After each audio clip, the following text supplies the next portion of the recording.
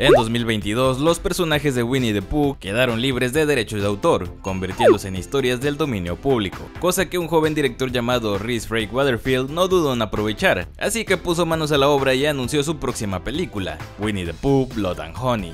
Un título que llamaría la atención de mucha gente, puesto que esta sería la primera vez que veríamos al tiernocito de toda la vida convertirse en un monstruo sangriento dentro de una película de terror, sin duda el rápido actor de Reese ayudó a que su película se volviera viral en todo el mundo, llevando a muchos escépticos como su servilleta al cine para comprobar la catástrofe que había creado con los personajes favoritos de mucha gente, quienes por supuesto no dudaron en quejarse con el director por arruinar a los personajes de su infancia. Por el otro lado, pese a que la película fue un fracaso en cuanto a crítica, el empuje mediático ayudó a que el filme multiplicara casi 50 veces su presupuesto, lo cual es una locura. Obviamente esto motivaría al director a continuar con su plan de llevar a personajes clásicos popularizados por Disney al género de terror, a producir la secuela de inmediato, siendo la pregunta del millón si esta secuela es mejor o aún peor que la anterior, por lo que hoy trataré de contestar esa pregunta. Quédate, estás en Ocurrencia TV, comenzamos.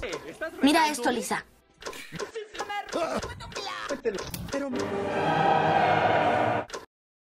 La introducción de Blood and Honey nos contaba cómo Christopher Robin se hacía amigo de unos seres del bosque, quienes eran unas bestias pacíficas que parecían ser mezcla entre animal y humano, por lo que el niño además de cuidarlos y alimentarlos les enseñaría a hablar. Y todo iba bien hasta que Christopher creció y se tuvo que ir a la universidad, dejando a las bestias solas en el bosque, quienes a falta de alimento tuvieron que comerse a uno de ellos, siendo como siempre Igor el sacrificado. Este acto atroz combinado con el abandono del que decía ser su amigo, hizo que las bestias perdieran la cabeza y como venganza comenzaran a matar a los seres humanos, dando como resultado la que sería que vemos en la primera película, en la que Christopher Robin es el único sobreviviente. Ahora en la segunda parte, el narrador nos cuenta cómo la gente de Ashdown culpó a Christopher Robin de los asesinatos, convirtiéndose en un marginado de la sociedad, aunque hubo un pequeño sector de la población que sí creyó su historia y comenzó a buscar a las bestias dentro del bosque de los 100 acres, disminuyendo cada vez más el hábitat de Pooh y sus compañeros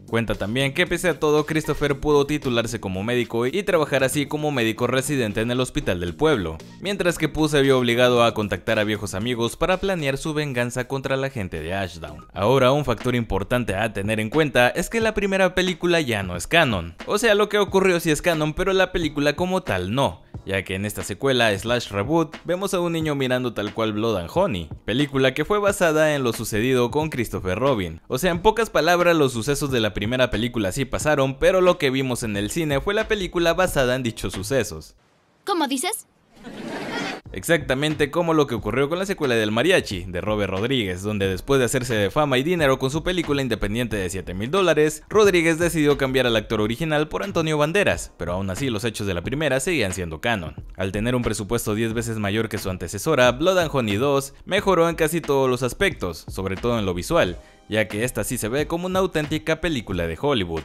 Mejoró la fotografía, los decorados, el maquillaje, los efectos visuales y hasta las actuaciones, las cuales son muy pero muy superiores a las de la primera, las cuales no se diferenciaban mucho de las de una película porno. Scott Chambers, el actor que interpreta a Christopher Robin en esta secuela, hace un estupendo trabajo, tanto así que te lo tomas en serio aún y a pesar de los diálogos clichés y paródicos. Y es que bueno, en esta secuela se nota bastante la influencia de otros slashers, de los cuales el director incluso hace ciertas menciones y referencias como Viernes 13 y por supuesto Scream, de la cual se nota tomó bastante inspiración, especialmente por el detalle de la película dentro del universo de esta película. Y esto obviamente no la vuelve mala, pero sí algo predecible y cliché, al menos hablando de la historia, la cual se parece a muchas otras que ya hemos presenciado. De hecho, la mitad de la trama es prácticamente lo mismo que la película de Five Nights at Freddy's, donde el protagonista acude al psicólogo por el trauma que le generó el secuestro de su hermano menor, y a través de sus sueños trata de recordar la identidad de dicho secuestrador. Aunque cabe destacar que la película de FNAF salió apenas hace medio año, fecha en la que probablemente esta película ya se estaba rodando, así que resulta casi imposible que el director se haya copiado de ella. Algo no tan chido es que Reese se saca de la manga muchas cosas que no mostraron o se contradicen con lo que vimos en la primera película. Por un lado está bien que le quiera dar un trasfondo más interesante a la historia y los personajes, pero por el otro se siente demasiado forzado, sin sentido y hasta ridículo. Y bueno, lo que estoy por decir es una spoiler enorme, así que si gustan se pueden saltar hasta el minuto que aparece en pantalla. Y es que en esta película nos cuentan el supuesto verdadero origen de Pooh y sus amigos. El secuestrador del hermano de Christopher Robin resulta ser un conserje del hospital contratado por otro sujeto, que utilizaba a niños para experimentos donde alteraba su genética. Pero dichos experimentos salieron mal y terminaron con la vida de los niños, por lo que el científico loco los enterró y el conserje al enterarse de esto decidió asesinarlo y en el mismo sitio donde estaban los niños, solo con el pequeñísimo detalle de que cuando fue a este lugar los cuerpos de los niños habían desaparecido. Así que sí, Winnie Pooh no solo es el hermano de Christopher Robin, alterado genéticamente, sino que es además un zombie que regresó de la tumba para tomar venganza. Esto lo cambia todo. Por eso digo que no está tan chido que haya querido extender la historia. Y es que lo peor es que el hecho de que Winnie sea el hermano secuestrado de Robin no cambia absolutamente nada de la trama. Sigue siendo una bestia despiadada que mata a todo el que se le atraviese sin la menor piedad, incluyendo a sus propios padres. Entonces, ¿como para qué sirve todo ese cuento de que sea el hermanito de Christopher si no cambia nada en la trama? También, a diferencia de la primera película donde los monstruos habían hecho una especie de voto de silencio y por eso casi ni hablaban, aquí se la pasan abriendo la boca para decir pura jalada, con frases como Mira por dónde caminas, perra. Especialmente hablando del búho, que se parece más a la botarga Lucien de Club de Cuervos combinada con el de Jeepers Creepers que al personaje de Mill. Ashdown views our existence as a plague.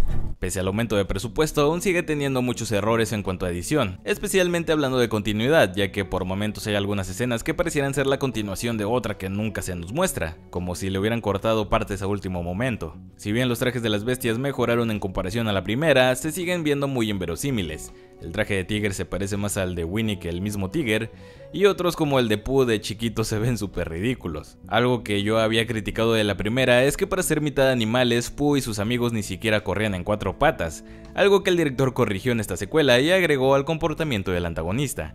Y es que en general se nota que Rhys Waterfield tomó en cuenta los comentarios de la gente sobre la primera película para mejorar. Digo, la película sigue siendo mala en general, pero comparada con la primera película es una mejora tremenda. Quizá lo más flojo en cuanto a este y otros filmes de terror independientes como Terrifier es que los directores se enfocan en horrorizar al espectador más por lo visual antes que por el storytelling, sin crear una historia que verdaderamente te ponga los pelos de punta. Aunque como todo ya sé que hay espectadores a los que les encanta este tipo de películas, donde el gore predomina por sobre todo lo demás, Así que si eres una persona que disfruta las películas llenas de sangre y terror corporal, esta película te puede gustar bastante.